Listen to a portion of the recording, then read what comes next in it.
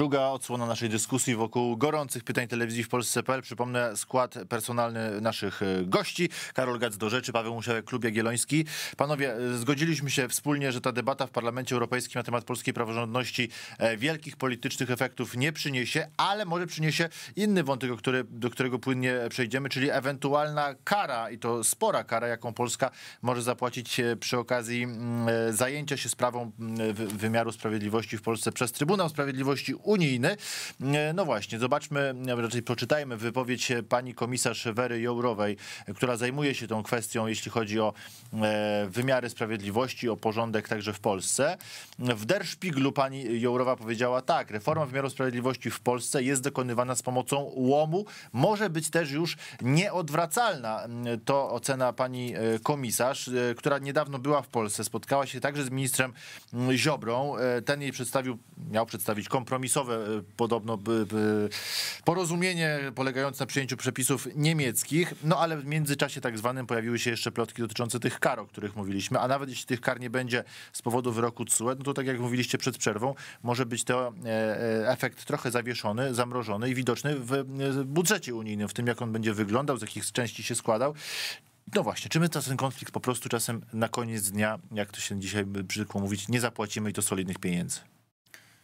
Wydaje się, że Prawo i Sprawiedliwość będzie chciał uniknąć tego scenariusza, ponieważ e, to faktycznie byłby tak zwany game changer. Znaczy, jeżeli faktycznie Polacy zobaczyliby e, wielki licznik, który opozycja by postawiła na środku Warszawy i codziennie te kolejne euro by e, się pokazywało na tym liczniku, no to faktycznie byłoby to coś, co by przemawiało do wyobraźni, więc myślę, że, że PiS takiej sytuacji uniknie, a przesłanką do takiego założenia jest to, że pamiętajmy, że Prawo i Sprawiedliwość już się wycofało z kilku decyzji pod wpływem wyroku wyroku TSUE, ponieważ e, słusznie zakłada, że można sobie pozwolić na asertywną rozmowę z Komisją Europejską, ponieważ to nic nie kosztuje. To jest polityka. Tak, to jest polityka, to jest pewna, rozmowa, która e, ma charakter negocjacji, natomiast e, już wyrok TSUE jest czymś zupełnie innym, dlatego że nierespektowanie wyroku oznacza wprost naruszenie y, prawa i może się wiązać właśnie z karami finansowymi i innymi, y, jak zawieszenie chociażby y, głosów w Radzie, więc te, te konsekwencje byłyby poważne. Czy faktycznie jest to scenariusz realny, że CUE taki wyrok wyda? Szczerze powiedziawszy nie wiem, dlatego że e, to musiałby oznaczać, że jest wyrok dotyczący tzw. Tak środków tymczasowych, a te środki one są wprowadzone wtedy, kiedy Trybunał uzna, że musi istnieć natychmiastowe zatrzymanie wdrażania pewnych regulacji po to, aby właśnie nie dochodziło do nieodwracalnych skutków. I teraz mm, oczywiście... Tak było choćby w Puszczy Białowieskiej. Tak, tak było w Puszczy, w Puszczy Białowieskiej, mhm. więc można sobie wyobrazić scenariusz, kiedy CUE to e, taki wyrok e, wydaje. Mówię, że trudno przewidzieć o ten wyrok, dlatego że, mówię, prawo Unii Europejskiej, jeśli chodzi o wymiar sprawiedliwości, jest bardzo szczupłe. I pamiętajmy o tym, że my cały czas się poruszamy w takim obszarze bardzo, dalekiej, bardzo daleko idącej interpretacji. W zasadzie cała ta sprawa jest wywnioskowana na podstawie ogólnego przepisu o tym, że państwo powinno respektować, państwa Unii Europejskiej powinny respektować zasady praworządności. W związku z tym e, już dawno przekroczyliśmy taki moment, kiedy Trybunał Sprawiedliwości trzyma się bardzo literalnie traktatu i wszedł w rolę bardzo kreatywnego interpretatora.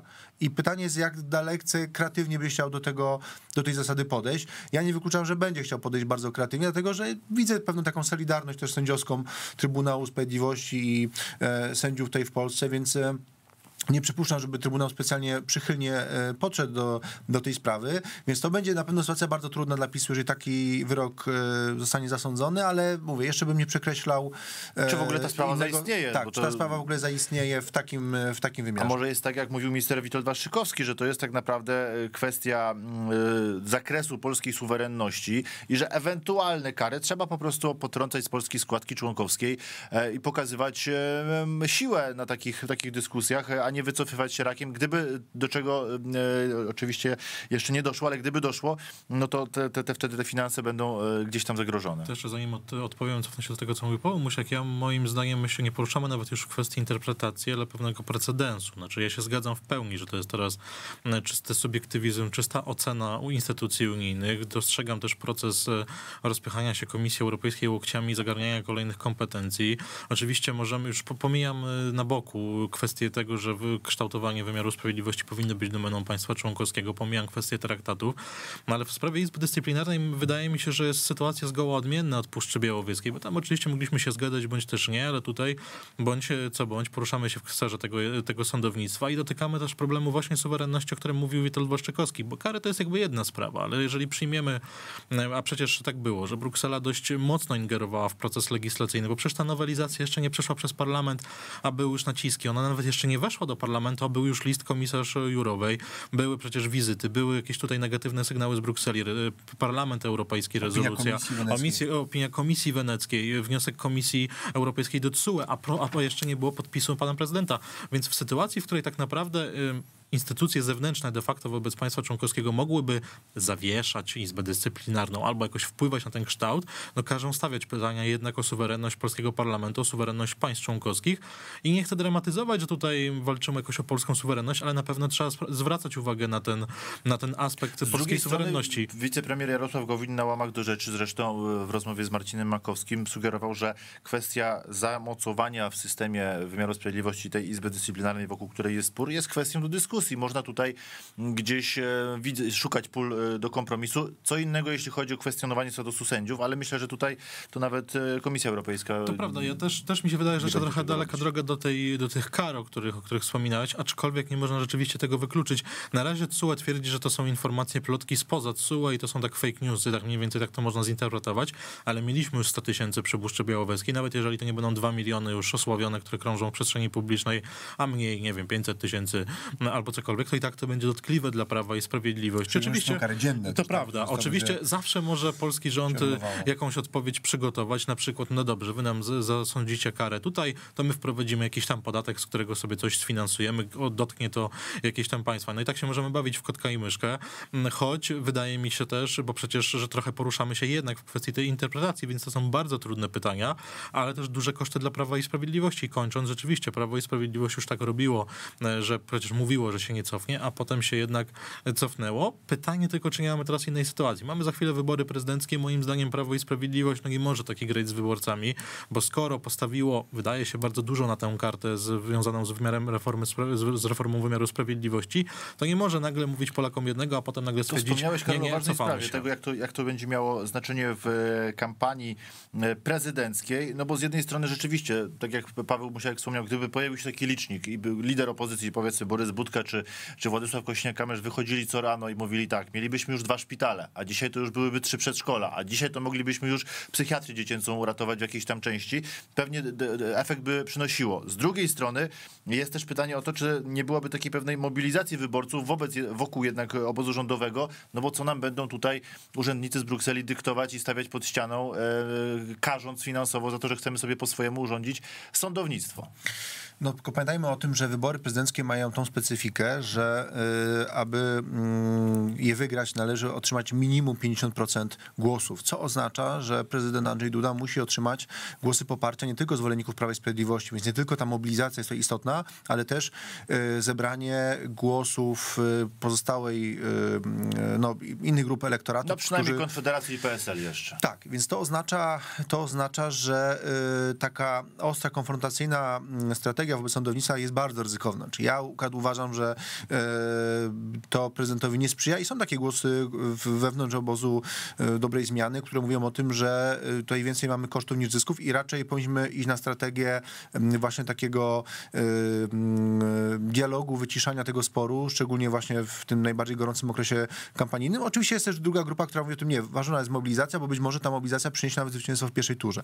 Ja akurat bardziej wierzę w, to, w ten scenariusz pierwszy i uważam, że Andrzejowi Dudzie przede wszystkim potrzeba wyborców centrowych, dlatego że ci wyborcy którzy zagłosują na, konf- na, przedstawiciela Konfederacji w pierwszej turze na Krzysztofa Bosaka, w drugiej turze i tak pewnie zagłosują na Andrzeja Dudę, bo nie zagłosują chyba, na... Że nie pójdą. Chyba, że nie pójdą, ale raczej spodziewam się, że, że tutaj y, ważniejsza stawka jest o to y, właśnie y, o tych wyborców centrowych, którzy głosowali na Andrzeja Dudę i dali mu zwycięstwo 5 lat temu, y, a teraz są nastawieni coraz bardziej sceptycznie do tych reform Sprawiedliwości.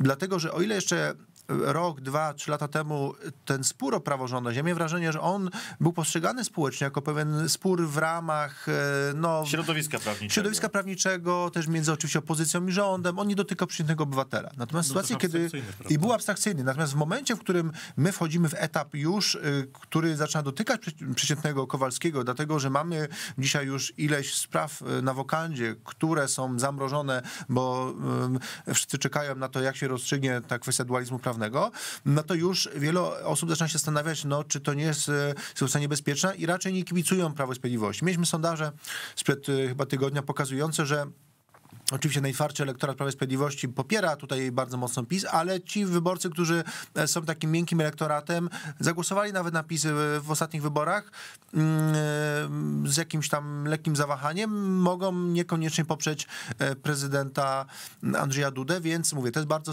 bardzo ryzykowna strategia, ale jeszcze jeden wątek e, co do poprzedniego tematu, mianowicie tej kwestii suwerenności. Podkreślmy, że Komisja Europejska i CUE są instytucjami ponadnarodowymi, które mają w swojej w zasadzie genezie takie dążenie do tego, aby e, rozpychać się łokciami i powiększać swój obszar wpływu. Natomiast e, właśnie ten precedens, który tutaj CUE stosuje na Polsce, e, jeśli chodzi o swoją rolę, możliwości zaingerowania w wymiar sądowniczy, i jest to oceniane sceptycznie w wielu krajach europejskich. Oczywiście te kraje niekoniecznie kibicują Nie będą PiSowi- umierać za Warszawę, tak, ale... niekoniecznie kibicują oczywiście tutaj tą, tym reformom, które PiS przeprowadza, ale jeżeli patrzą na to, co robi CUE, to tutaj już e, wiele stolic europejskich zastanawia, czy przypadkiem ten precedens nie będzie wykorzystywany później w relacjach z tymi państwami, bo tych sporów prawnych między Komisją, CUE, państwami jest sporo i świetny przykład Hiszpanii, która doświadczyła na własnej skórze e, wyroku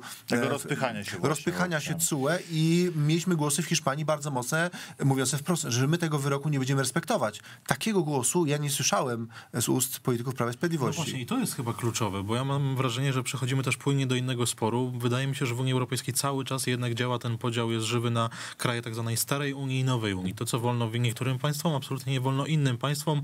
Przykład Hiszpanii jest tutaj bardzo wymowny, tak samo jak zresztą Niemcy, nie, Niemiec, gdzie przecież było, gdzie niemiecki trybunał stwierdził, że nie, niemieckie prawo jest ważniejsze od prawa unijnego i Madryt mówi, tutaj przechodzę do sytuacji Hiszpanii twardo, nie, my nie będziemy tego respektować. No i teraz pytanie, co zrobi TSUE, co zrobi Komisja Europejska, bo ja się oczywiście zgadzam, że ona się rozpycha łokciami, tyle tylko, że jeśli Niemcy, Francja czy Hiszpania powiedzą nie, a celowo mówię o tych państwach, bo to są państwa tej starej Unii, duże państwa, to wcale nie jest powiedziane, że jeżeli powiem, jeżeli nie powie Warszawa, Ryga, Praga, to będzie ten głos tak samo słyszalny. Zgoda. Też, też padały takie opinie, między innymi pani profesor e, pierwszej prezes Sądu Najwyższego Magdaleny e, Małgorzaty Gersdorf, e, która no, mówiła, że jasne, jest spór, czy te orzeczenia TSUE, werdykty wdrażać w życie w jakimś skali i tak dalej, ale on dotyczył mniejszych spraw, podatków, e, kwestii, nie, nie kwestii praworządności, nie kwestii systemowych. Wcale nie jestem pewny, czy sprawa hiszpańskiej akurat, y, Hiszpanii, Madrytu, gdzie to tak naprawdę jest kwestia zdrady stanu, pewnej secesji, jest mniej poważna, bo akurat w przypadku Madrytu moim zdaniem to jest sprawa poważna. I jeszcze na chwilę cofnę się do artykułu 7. Przecież artykuł 7 to też była taka, takie pole... No wciąż jest, to jest, wciąż jest, ale to jest takie pole eksperymentalne, tak? Na ile sobie mogą pozwolić instytucje unijne w porównaniu do innych państw. Ja się zgadzam, że nie wszystkie państwa e, sympatyzują z, z PiSem, ale wszystkie państwa wnikliwie obserwują sytuację, bo jeżeli udałoby się, mówiąc kolokwialnie, spacyfikować e, Polskę, kraj tak duży, gospodarczo, ludnościowy, z takim potencjałem, to tym bardziej będzie można takie rzeczy przeprowadzać na mniejszych państwach unijnych i łatwiej będzie można je potem em, do tego szeregu przywoływać. A więc tutaj naprawdę się toczy bardzo duża gra na wielu różnych płaszczyznach. No pytanie tylko, jak skuteczna będzie polska dyplomacja, bo Viktor Orban pokazuje, że naprawdę można i robi to skutecznie na, na A wielu Polacy. Mateusz Morawiecki, Konrad Szymański, Jacek Czaputowicz.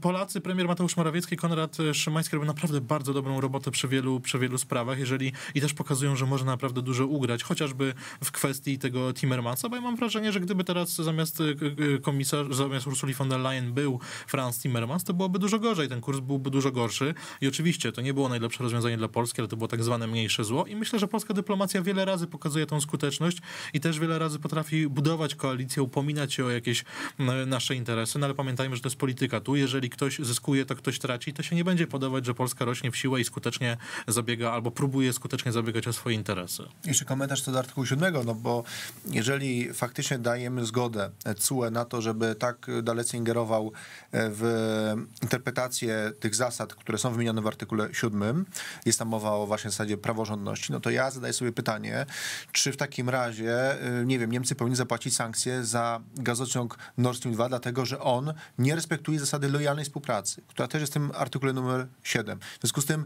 jeżeli faktycznie zaczynamy y, tak y, dalece interpretować te artykuły nie tylko jako takie ogólne wytyczne, którym się kraj powinny stosować, tylko zaczynamy je sankcjonować i CUE wchodzi w rolę właśnie tego interpretatora, w jak te poszczególne wartości powinny być realizowane, no to pojawia się naprawdę tutaj bardzo duże pole do właśnie tego typu interpretacji. Więc jeżeli ktoś mówi tak, CUE ma prawo do tego, żeby definiować, czym jest praworządność, no to ja zadaję pytanie, czy w takim razie CUE też zajmie się sprawą gazociągu Nord Stream 2 i moglibyśmy tych przykładów naprawdę mnożyć w nieskończoność. Jak Państwo słyszą, tych pól interpretacji, poziomów i pięter skomplikowania tego tematu jest mnóstwo. Odpowiedzi prostej, czy Polska zapłaci Unii gigantyczną karę, nie udzielimy, natomiast mam nadzieję, że e, kilka tych pól właśnie udało nam się odsłonić. W trzeciej części porozmawiamy już o samej reformie wymiaru sprawiedliwości i tym, e, czy faktycznie nie można tego zrobić inaczej, a może po prostu trzeba docisnąć pedał gazu, jak chcą niektórzy. Już teraz zapraszam, zostańcie Państwo z nami, do zobaczenia za kilka chwil.